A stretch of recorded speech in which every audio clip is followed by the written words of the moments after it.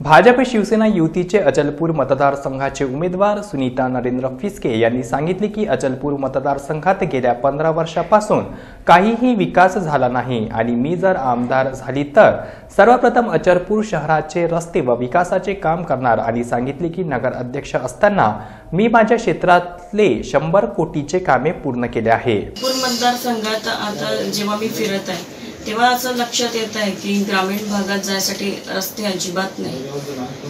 ग्रामीण भागातल्या लोकांचा येण्या जाण्याच्या बाबतीत कोणताच विचार केला गेला नाही आजपर्यंत. गावात जायला रस्ता रस्तेच व्यवस्थित नाही.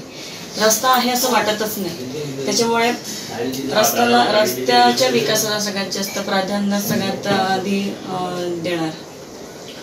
रस्त्याचा तुमचा विकास कामाचा रस्त्याचा काय तुम्ही कसं विकास काम केलं एकतर सगळ्यात प्रथम तुम्हाला सांगते की अडीच ते पावणे तीन वर्षाचा काळ आतापर्यंत रोखला.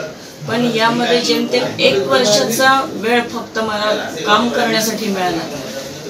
कारण दोन वर्ष जवळजवळ केस टाकलेली होती व्हॅलिडिटीचं प्रकरण चाललं तर ती केस जी टाकली त्यामुळे विकास कामाच्या विकास कामात खूप अडथळा निर्माण झाला.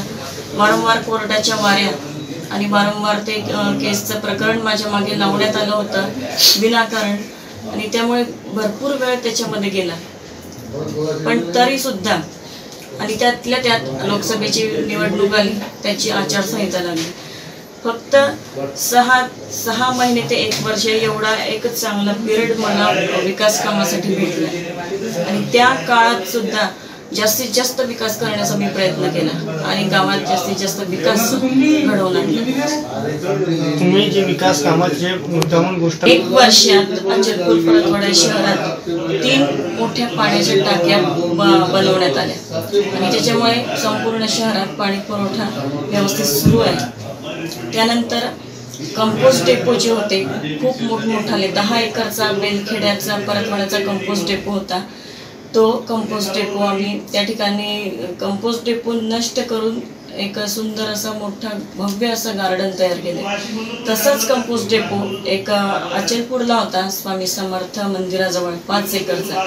तर एवढा मोठा कंपोस्ट डेपो तर आम्ही त्याला व्यवस्थित तयार केलं आणि त्या ठिकाणी गार्डन तयार केलं.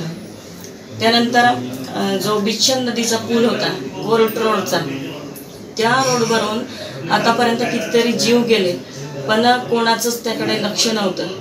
तर त्या पुलाचं काम आम्ही घडवून आणलं. ही माहिती अचलपूर येथून आर्यन न्यूजचे प्रतिनिधी शाकीर सौदागर यांनी दिली.